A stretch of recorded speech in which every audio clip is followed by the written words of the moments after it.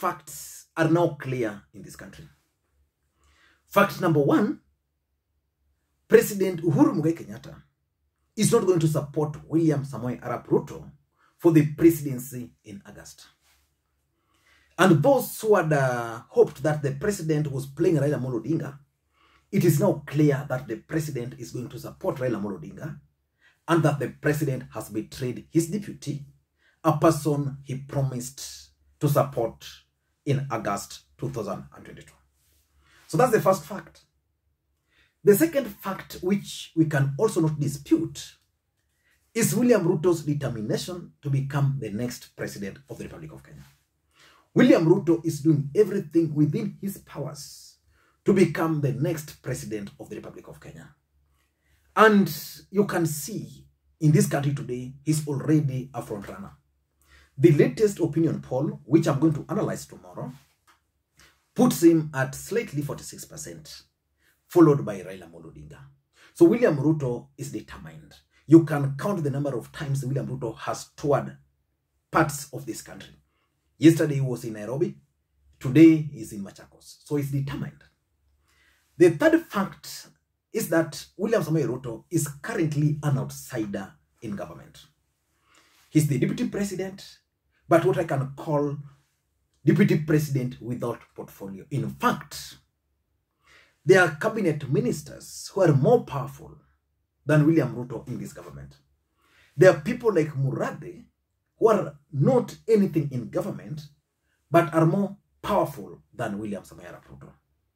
And based on the fact that the president is against the deputy president, the deep state is against the deputy president, the fact that the deputy president is facing one of the serious presidential contenders, Raila Odinga, the deputy president has decided to craft a strategy of defeating President Uhuru Kenyatta and Raila Odinga in 2022 elections, which is a few months from now. So in this video today, I want us to look at the strategies which William Samoei Ruto has actually crafted and using, and whether those strategies can defeat Raila Odinga and William Ruto, I mean Raila Odinga and Uhuru Kenyatta combined. For example, Raila Odinga yesterday, was it on Monday, stated that in Nairobi he got uh, 900,000 900, and Uhuru got 700,000. And according to Raila Odinga's calculation, he expect to retain those 900,000 votes he got in Nairobi and then add to Uhuru Kenyatta's votes. The deputy president hopes to surpass what the president got in Nairobi in the last election. But before we go into all those details, if you're watching this channel for the first time, I want you to take a second or two, just click that subscribe button now. Because what we do on this channel is that we analyze politics in a way you can't find any other place. So the best thing you can do is just to click the subscribe button. And to the subscribers, I want to continue thanking you guys for your continued support. Because without that support, this channel cannot be where it is. I know most of you guys are asking where I'm getting my outfit. just go to Nakumat, ile ya Kachok if you are in Kisumu, first floor. Then you will get a place called the, the Gentleman's Wear. You will be sorted. Now, William Ruto has devised strategies which he hope will, will help him stop President Uhuru Kenyatta and Raila Odinga in their schemes. Entering into this election, William Ruto was a frontrunner because the only thing which was standing between the deputy president and the presidency was actually the remainder of President Uhuru Kenyatta's term. But in March, a few months after the election, Uhuru Kenyatta and Raila Odinga entered into the handshake. That handshake, in my view, is what managed to bring Raila Odinga back to the race. But I'm not going to go into that for now. Probably if you need me to analyze why the handshake is what sustained Raila Odinga up to now, then I can do another video for, later on. But for now, I want to explain to you guys the strategies which the deputy president has developed. The first strategy which he hopes to use is the power of money. The question is, who are William Ruto's opponents? Raila Odinga. Is Raila Odinga known to be using money in campaigns? Raila Odinga is not known to use money. Raila Odinga is known to use hope, selling hope to voters. And William Ruto realized that Raila Odinga supporters and those who have already supported Raila Odinga are tired now. And what they needed is money. So William Ruto came up and started using the money. And in fact, I don't know whether this is going to work in his advantage or not, but I'm using the case of of uh, of Kiambu, where the Thika town member of parliament, the jungle, quietly left UDA and is now going to run for the gubernatorial seat there as independent. This guy is saying that when he joined William Ruto, William Ruto made his defection a big deal. And they went and traversed the entire county. And at each and every stop, William Ruto would promise to give youths, women, and um, women, youth, and business people some money, which he never did. So this guy ended up using his own, his own money to pay these youths, and that's why he left. And someone was also saying that people like Alice Wahome, Ndindi Nyoro, who are key allies of the deputy president, are not comfortable with the deputy president going to their constituencies because they're in. But the truth of the matter is that when you go to a place and you make a promise of 2 million to Boda Boda youths, what are you doing? What are you doing? Psychologically, people would think that you are giving a lot of money. I want to give you an example of Kisumu. William Ruto came to Kisumu. In Kondele, he stood up and promised Boda Boda guys 2.5 million. He went and promised women, I think at the end of the day, he, he made a promise of 4.5 million. So to Kenyans, the voters in Kondele received 4.5 million, which was enough. You know, when 4.5 million lands in Kondele in the hands of Boda Boda and uh, women there, that's quite a lot of money. But I've inquired, and what I got shocked me. This money was actually distributed to all Boda Boda operators in Nyanza. And each Boda Boda operator received 5,000. Is it 5,000 or 500? I think 500. Either 5,000 or 500. So the fact is, William Ruto was able to display money. And that money is what is attracting most young people to William Ruto. They hope and believe that by joining William Ruto, going to his rallies, you get money. You've all seen in several instances where people like Oscar Sudi are giving money to Boda Boda guys ahead of William Ruto's rallies. So William Ruto intends to use money. And this is an act he acquired while he was in Kanu. Whether he's going to succeed with that, I still don't know. His second strategy of, uh, and by the way, between Ruto, Uhuru, and Raila, for example, who has money? And why is Uhuru not using money? Why is Raila not using money? That's the question. And that's why anytime Raila Odinga tries to challenge Ruto over his money for church and the rest, he always tells them that Raila Odinga is a billionaire. Why can't he use? Most people now believe that William Ruto, as much as you call him a thief, but he's sharing. so that's the first strategy, money. His second strategy is to capitalize on Jubilee failures. The truth of the matter is that Jubilee failed. And Jubilee failed big time, especially in the first term. But in the first time term of their rule, what Jubilee did was use of propaganda. Dennis Itumbi went to an extent of even having a website which was called Jubilee Portals, where they were showcasing what Jubilee government has done. The truth of the matter is that most of those projects which were listed on those on those websites were fake. Most of them were never done. So after the elections, when Kenyans now came into their senses, they realized that Jubilee had failed. But William Ruto was gifted a gift. Uhuru Kenyatta entered into the handshake with Raila Odinga. So William Ruto started running away from Jubilee failures and taking credit for Jubilee successes. And while that was happening, the burden of Jubilee failures was being transferred to Raila Odinga. And that's the thing. So William Ruto came up with uh, what he was calling uh, the hustler narrative. And um, that's another strategy which I'm going to, to, to, to, to explain below. But his the idea of hustler narrative was to create people a class between the poor and the rich. So what he wanted to do was now to appear as the messiah, the guy who was going to sort out Jubilee failures. If it was unemployment, if it was road, if it was water, if it, anything. So William Ruto made capitalized on Jubilee failures, and he was able to convince majority of Kenyans that indeed he's the economic messiah. He's the guy who will sort the unemployment in this in this area. I mean, in this country, the failure to provide clean waters, the failed healthcare system occasioned by corrupt governors, and the rest. So that was his second strategy. Jubilee failures. And that's why at some point Uhuru Kenyatta decided to remove him from launching government projects because he was claiming that the government had failed but going to a place to launch. And then the president tasked Matiangi and gave him one instructions. I want you to just identify projects which are ongoing. Complete them, then we can go. And that's why in the larger Mount Kenya region, William Ruto no longer blame Uhuru Kenyatta for Jubilee failures because the president went there, identified projects which were which had which had stalled, and the president decided to complete them. And today, the president can go to the larger Mount Kenya region and he can rise up and tell them, I've done A, B, C, D. Before that, in fact, that's why early campaigns has failed the DP. If he had started a bit late, President Uhuru Kenyatta and his government probably would have slept. They would not have fixed the mess which the president has done. So his second strategy is to capital- capitalize on Jubilee failures.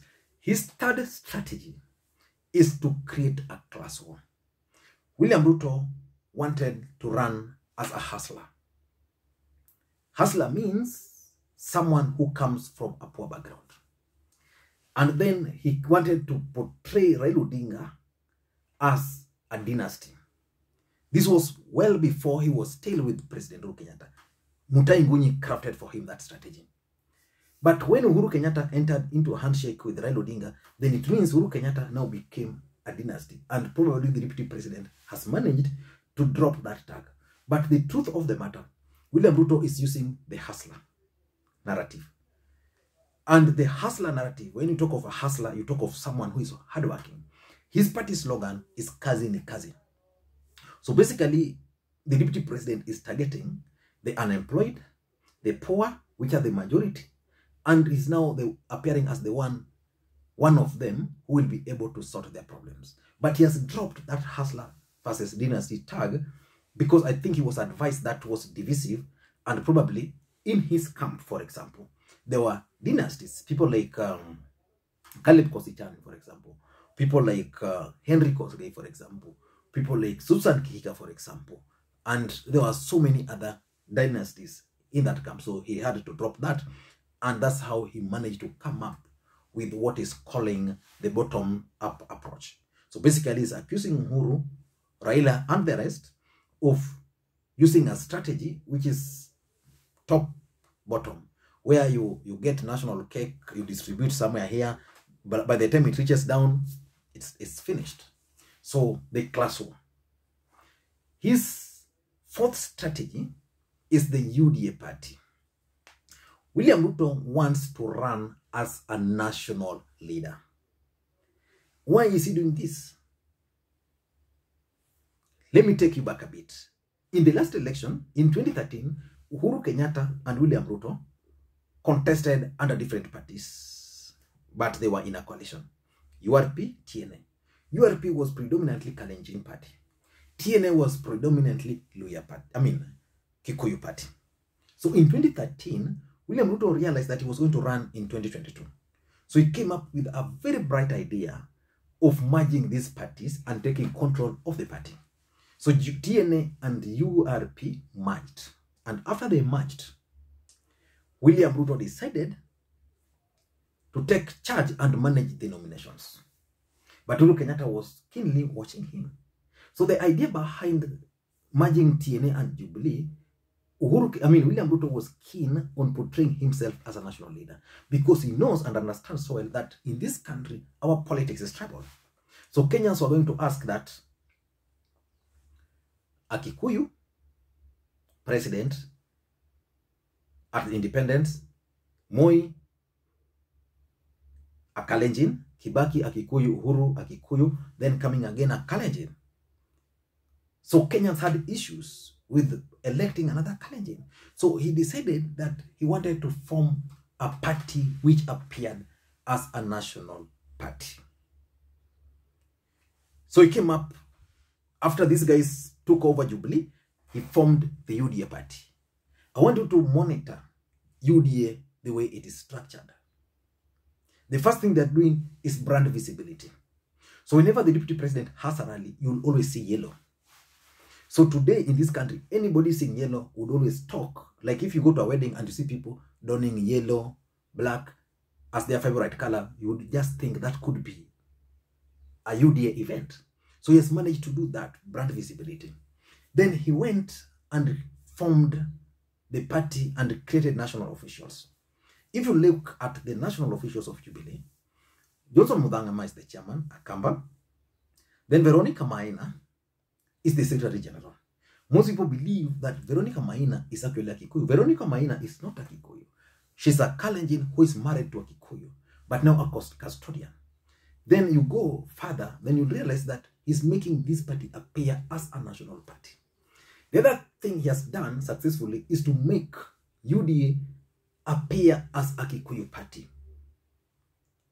And that's why the departure of um, of uh, Ngirici is really hurting them. Because Ngirici is now revealing some of the secrets. They've made UDA appear as a, as a Kikuyu party. How did he manage to do this? He told the Kalenjins in that party to pull back, then leave the Kikuyus to shine. To shine. Anytime they have events, you will rarely see the Kalenjin nation leaders accompanying him. You would see Kikuyus majority, majorly, then you would see Aisha Jumwa, you would see Osoro, just Duale, so that the party appears as a national leader. I mean, as a national party. And then he's now using his resources, his mobilization skills, because no politician can mobilize the way Ruto does, using money. And then when he goes to a place, it's always mammoth.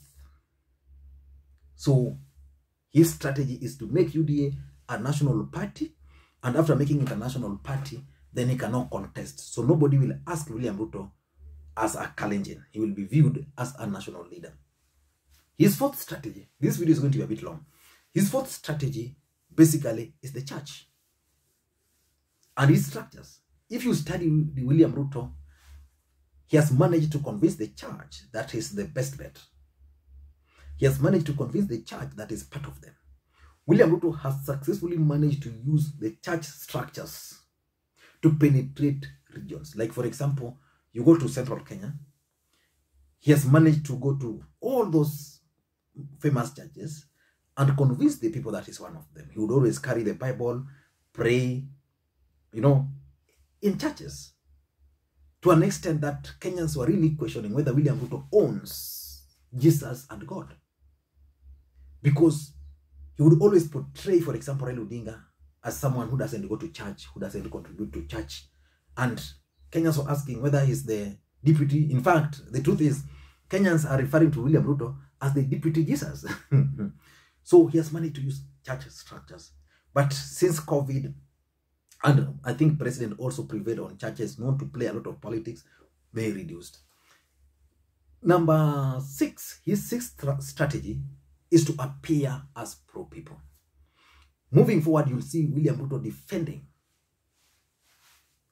the constitution. In his entire life, William Ruto has never been known to be a defender of the constitution. He was in Kanu. You all know what happened in Kanu.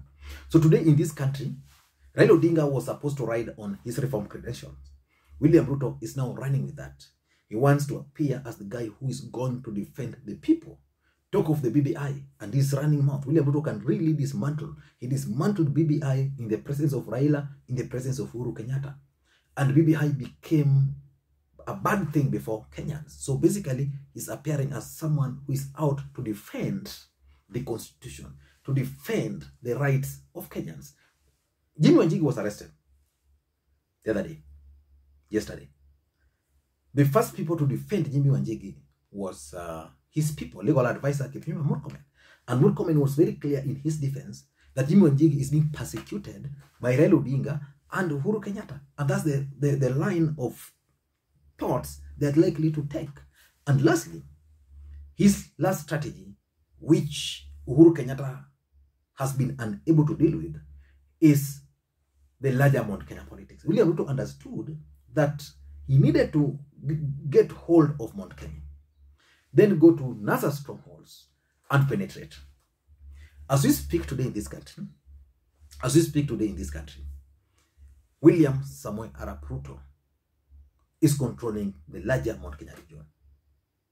He understands that if Mount Kenya were to slip, he would be finished immediately. And William Ruto is also trying so hard to penetrate the former NASA strongholds. He's going in Ukambani in the hope that those who are not comfortable with Kalonzo Musyoka will have him as the alternative. William Ruto is going to the coastal region hoping that he can solve the problems which Raila Odinga is not able to solve or he can appear as an alternative. William Ruto is going to the larger Western Kenya in the hope that Western Kenya will be able to support his bid. I don't know what you think, but that's my take. Those are the strategies which William Samoei Arap Ruto intends to use, and he hopes to defeat President Uhuru Kenyatta and his project, what he called his project, Raila Amolo Odinga. Thank you guys, and may you have a good day. And by the way, it's long since I made a 20 minutes video. You demanded, you have it. Bye bye.